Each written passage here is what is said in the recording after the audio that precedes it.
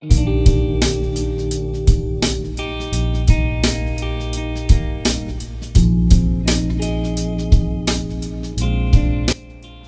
ընկերներ ջան, այսօր միասին շատ համեղ ուտեստ ենք պատրաստելու իտալական խոհանոցից լազանիա ենք պատրաստում։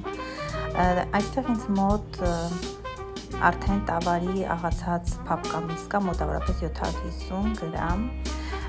Ես արդեն նախապես ավելացրել եմ 3 գլուխ միջին սով եւ այստեղ դրել եմ արդեն մարմատ կրակի վրա, վրան ավելացրեցի 2 թեյ թարմ մի քիչ ավել աղ լավ կխառնեմ, որպեսզի եփվի։ Իհարկե երկու ճաշի գթալ բուսայուղել եմ ավելացրել, որպեսզի փափուկ խճողակ ստանանք սիրելիներս։ Այստեղ ավելացրեցի արդեն պղպեղ աղացած, ըստ համի ճաշակի ինչքան կուզեք կավելացնեք, ես մոտավորապես կես թեյ գթալ ավելացրեցի եւ ավելացնում ենք վերջում արդեն երբ որ մի թեթև զգում ենք արդեն եփման process-ի մեջ է ավելացնում ենք սպիտակինի 3-ից 4 ճաշի գթալ եւ բաց ենք թողում կափարիչը որպեսի սպիտակինին գոլորշիանա ուղակի համը ավելի լավ լինի եւ երբ արդեն մի փոքր կզգանք արդեն գոլոշիացել է սպիտակինին, կավելացնենք տոմատի մածուկ։ Ես մի փոքր ջրի հետ խառնել եմ տոմատի մածուկը։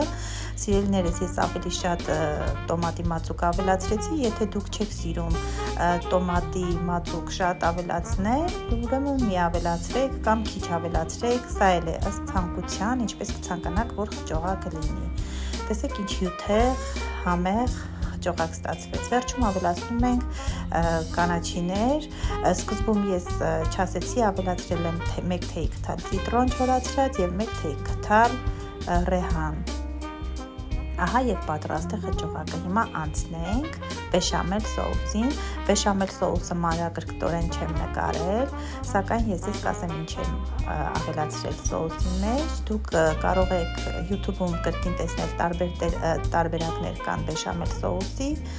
եւ որը կցանկանաք այն էլ կպատրաստեք։ Իհարկե ես պատրաստում եմ առանց բեշամել սոուսի էլ, ունեմ ալիքում կրկին պատրաստված շատ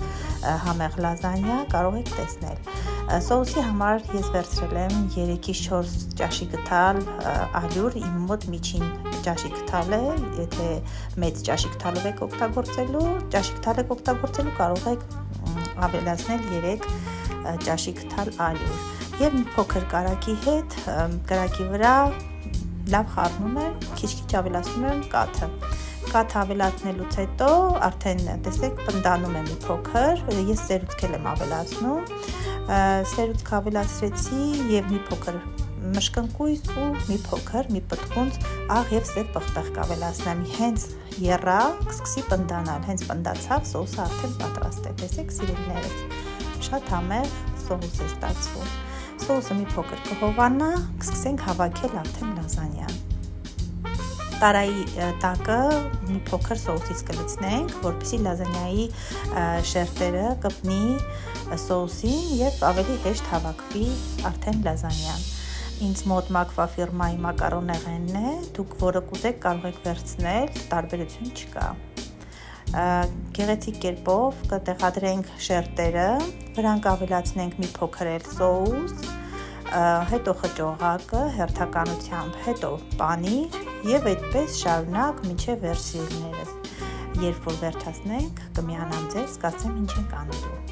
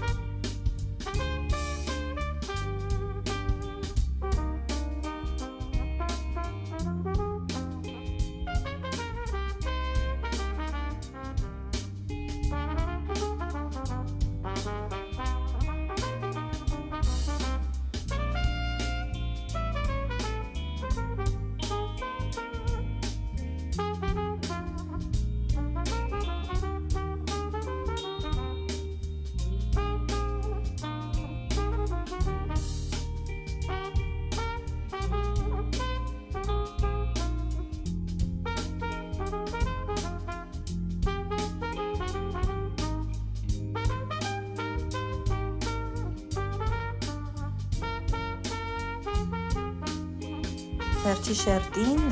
պանիրների տեսակներ կարող եք ավելացնել, ինձ մոտ այս